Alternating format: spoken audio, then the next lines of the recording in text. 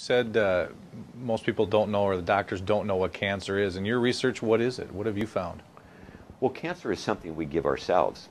And doctors and researchers want to say that no, it's genes. It's uh, we're mapping the human genome. You know, that's where mm-hmm. we're going to find that cure for cancer.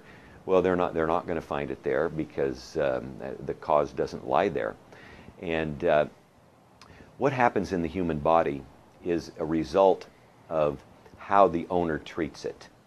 And we as Americans have, unfortunately, and I love America and I love Americans, but we've kind of become a, a, a fat, mm-hmm. lazy country.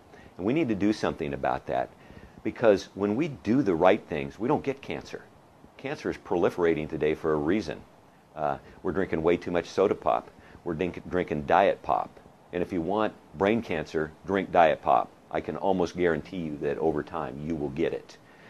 Um, so we're doing all the wrong things. We put lotions and potions and, and what we wash our hair with on our body. They're all carcinogens unless you're buying something that's natural. We drink fluoridated water. Fluoride is a deadly poison. It will kill you as well over time.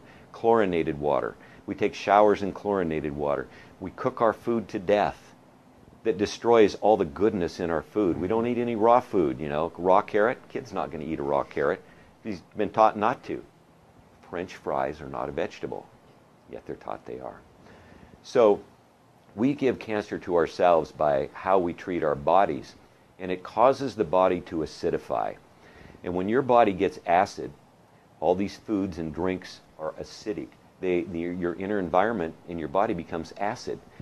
And guess what? Pathogens thrive in acidity. When, when you're in a clinical environment and doing research and you're, you're te testing pathogens, what do you do? You put acid in there first in that little beaker or whatever because they grow in acid. If you put it in, in alkaline, it wouldn't grow. And so it would kill it.